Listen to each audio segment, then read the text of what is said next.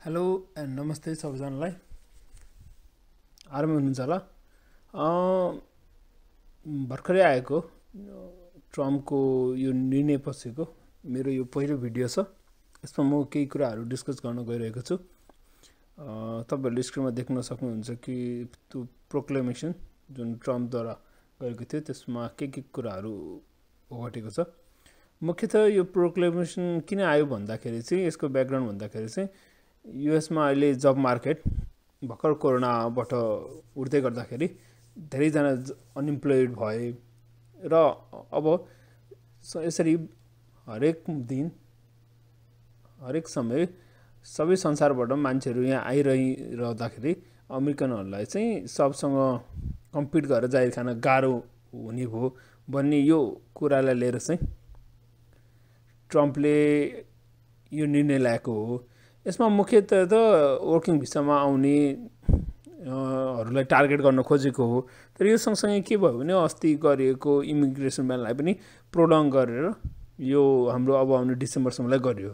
र जसले गर्दाखेरि चाहिँ के भयो भन्दाखेरि चाहिँ अब जो हामीहरू इन्टरभ्यू दिन भनेर पर्खिरहनु भएको थियो उहाँहरूको चाहिँ अब इन्टरभ्यू अनिश्चितकालसम्म नहुने भयो। र अर्को कुरा के पनि छ भने ट्वेन्टी ट्वेन्टीका विनरहरूलाई उहाँहरूको त अब यो सेप्टेम्बर थर्टीसम्ममा सकिसक्नुपर्ने हो इन्टरभ्यू।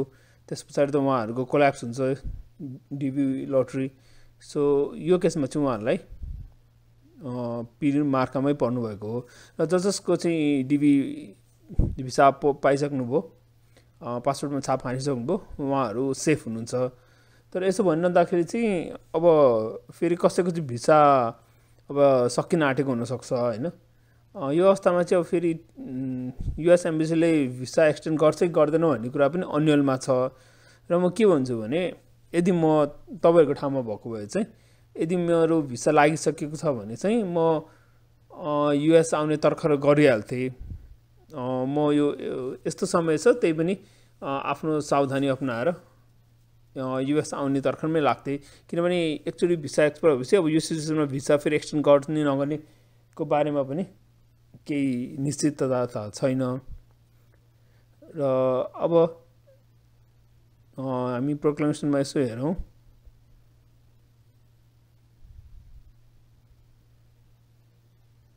सो यहाँनिर तपाईँहरू देख्न सक्नुहुन्छ। सो न्यु लफुल पर्मानेन्ट रेसिडेन्टबाट पनि मार्केटमा अब पहिल्यै त अन्य अनइम्प्लोइड अमेरिकन्सहरू पहिल्यै त यति धेरै छन् र न्यु इम्प्लो न्यु लफुल पर्मानेन्ट रेसिडेन्टबाट पनि अलिकति अब डर हुने भयो झन् धेरै मान्छे आउनुभयो मार्केटलाई चाहिने भन्दा धेरै मान्छेहरू आउन सक्ने र लेबरमा कम्पिटेन्ट धेरै हुने हिसाबको भएर यसरी यसलाई रोकिएको छ। र यो निर्णय चाहिँ डिसेम्बरसम्मलाई भनिएको छ होइन? December thirty one twenty twenty and maybe continue as necessary so यसो हेर्दाखेरि चाहिँ तर यो डिसेम्बर पछाडि चाहिँ यो कन्टिन्यू नहुन पनि सक्छ। यो यसो नर्मल्ली यसो हेर्ने हो भने ट्रम्पको यो अब आउने चुनावको लागि अमेरिकनहरूको भोट तान्नलाई सोचेको एउटा प्लान पनि हुनसक्छ यो होइन? अब यसो गरेपछि भोट अलिक बढी आउने भयो। सो यो मुख्य महत्त्व पनि हो कि जस्तो लाग्छ? र अर्को यहाँ क्लज छ within thirty days of June twenty four twenty twenty and every sixty यो चाहिँ यसलाई चाहिँ के मोडिफाई गर्न सकिन्छ भन्ने पनि लेखेको छ है। तर यो कति हदसम्म मोडिफाई गरिन्छ भन्ने कुरा चाहिँ थाहा भएन तर अब यसलाई लिएर केसहरू पनि कोर्टमा लगिने भन्ने कुरा छ होइन? डिबिकै केसको लागि पनि यहाँ तपाईँहरू देख्न सक्नुहुन्छ।